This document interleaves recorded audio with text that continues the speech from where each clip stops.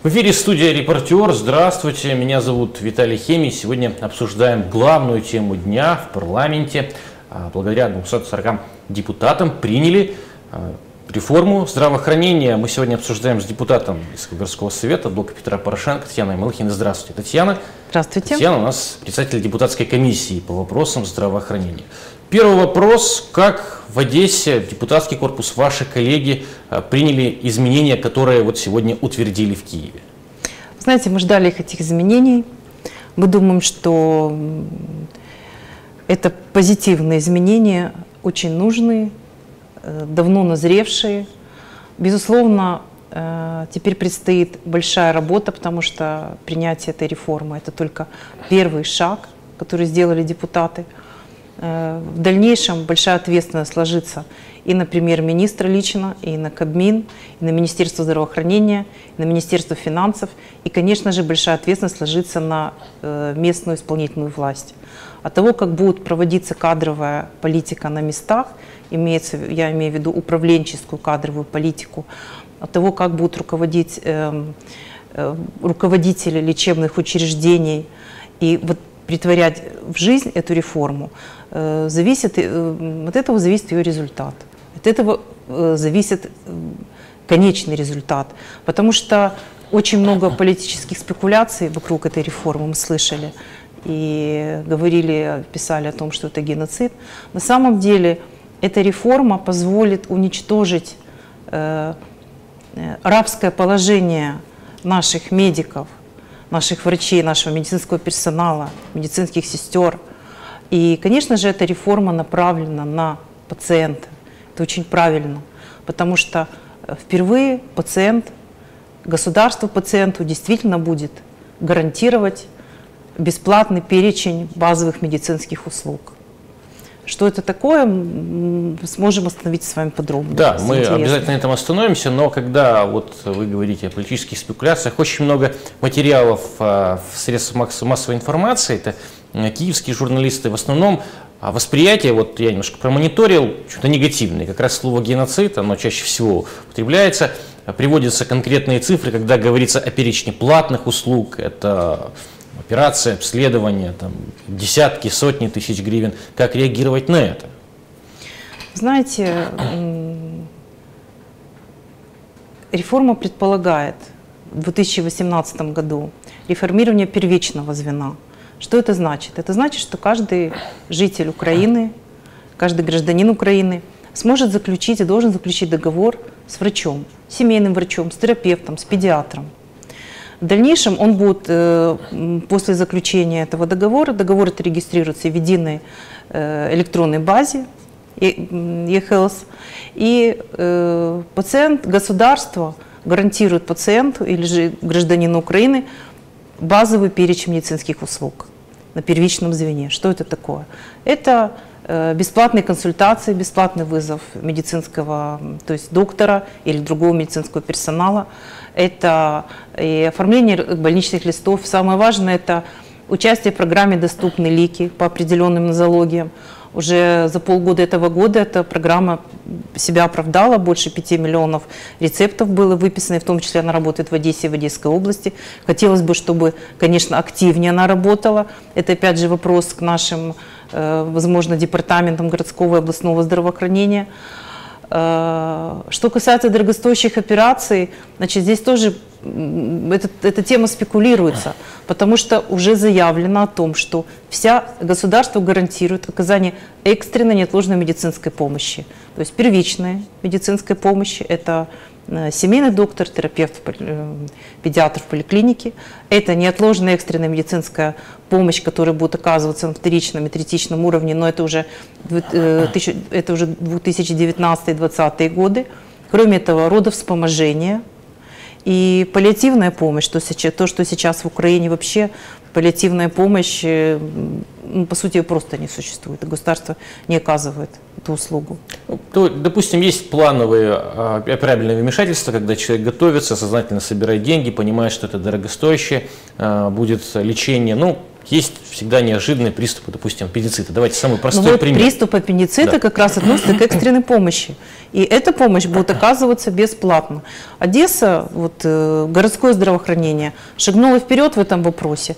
Я могу сказать с гордостью, что я как председатель комиссии инициировала этот вопрос. Спасибо депутатам, которые меня поддержали. И точно так спасибо нашему мэру. Здесь, в Одесса в этом году выделяет э, бюджетные средства городские, средства громады на оплату медикаментов в учреждениях э, первые три дня в экстренных э, или в ургентных состояниях.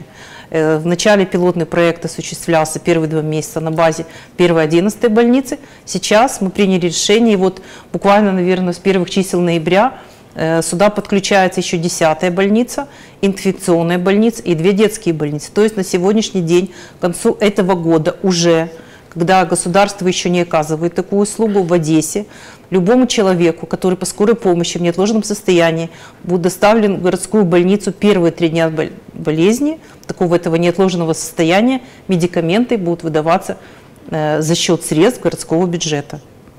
Вопрос о кадрах, о врачах. Может быть, города миллионника Одессы это не так касается, как э, сел, там, районных центров, но тем не менее, могут ли быть врачи уверены в завтрашнем дне, что завтра не придет руководитель и не скажет, прошла реформа, наша больница не нужна, ищите, где хотите себе работу, вы уже нам не понадобитесь. Вы знаете, такой, такого положения, как наша больница не нужна, в принципе быть не должно. И опять же, это ответственность местной исполнительной власти. Да, возможно, больницы будут каким-то образом, не каким-то образом, они будут перепрофилироваться частично в интересах громады, э, исходя из той потребности, которая будет необходима в рамках единого госпитального округа. Э, Опять же, возможно, какой-то части медицинских работников придется менять свою специализацию. Ну, еще раз говорю, возможно. Но тем врачам, тем медикам, которые являются профессионалами, которые занимаются, занимаются самообучением, которые читают литературу, действительно, которые э, возможности для того, чтобы самосовершенствоваться сейчас безграничны.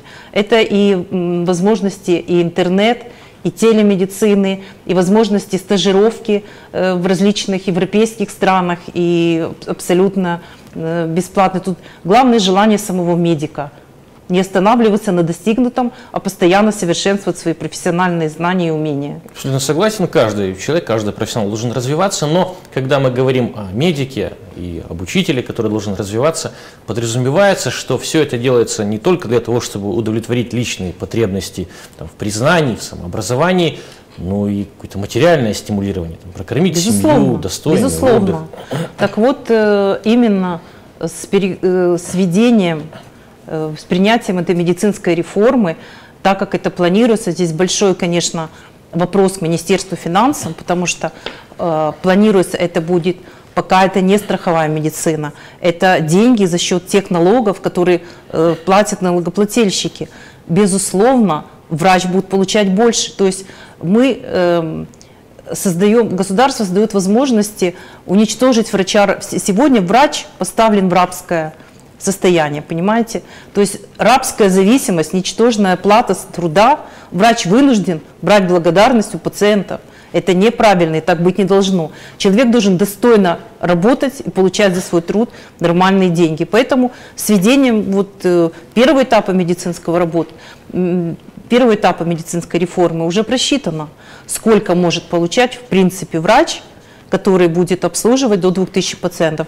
Э, Сумма до 35 тысяч гривен в месяц может быть у врача зарплата от 20 до 35. На сегодняшний день это уже нормальная, адекватная оплата врача в сельской местности, врача первичного звена. По какой категории лиц, так или иначе имеющих отношение к сфере здравоохранения, может ударить эта реформа, которые, скажем так, негативно ее воспримут и не приживутся к новым правилам игры?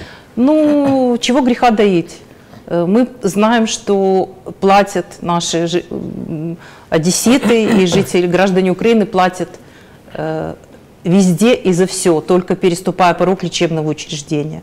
Прежде всего, конечно, э, ударит по э, тем слоям медицины, или медицинских работников, которые так или иначе участвуют в коррупционных схемах. Это благотворительные фонды, это различные тендерные закупки, это фармакологическая, фармацевтическая мафия, которая так или иначе, скажем, связана с верхушкой медицинской отрасли. Э, прекрасно всем известно, как закупаются медикаменты, к сожалению, там где-то закупаются за бюджетные деньги. То есть э, все те, кто привыкли не лечить, не оказывать помощь медикаментов, а присосавшиеся, присоседившиеся к бюджетному к процессу бюджетному э, финансирования здравоохранения, конечно, те, те очень недовольны. То есть что лет 10 или 15 как минимум говорится о фармакологической, фармацевтической мафии, но побороть эту структуру никак не получается. Неужели а, с внедрением изменений в медицине получится нанести удар вот по этим людям, которые в пик скажем так, эпидемии, которые регулярно случаются, и не только говорю там, о гриппе, о других там, ОРВИ, но тем не менее люди, которые делают деньги практически из воздуха. Последние вот годы, десятилетия точно, они непобедимы пока что в нашей стране. Ну, из моих ну, личных наблюдений, может, у вас есть другая информация. Э, к сожалению, это ментальность наших людей и тех людей, которые работают в этой сфере. Да. Тогда такой вопрос. Э, вы представляете блок Петра Порошенко. Э, блок Петра Порошенко в парламенте в целом в большинстве своем поддержал изменения. Но были люди, которые категорически против высказались, в том числе люди, имеющие отношение так или иначе к медицине, я имею в виду госпожу Богомолец. Есть ли у вас что ответить, может быть, заочно Ольге по этому э, вопросу? В чем э, Ольга, кстати, в основном не согласна с этим законом, если можно вкратце? Ольга называет принятую реформу геноцидом против украинского народа. Вы знаете, я очень глубоко уважаю Ольгу, я с ней лично знакома, но ну, что я могу сказать? Время покажет. Время покажет, кто прав, то я не буду комментировать, потому что, говорю, это человек, который заслуживает глубокого, большого вот моего личного уважения. Время покажет, безусловно, невозможно и неправильно говорить о каких-то экспериментах, то есть я имею в виду, время покажет, э, все-таки позитивно оцениваю этот опыт.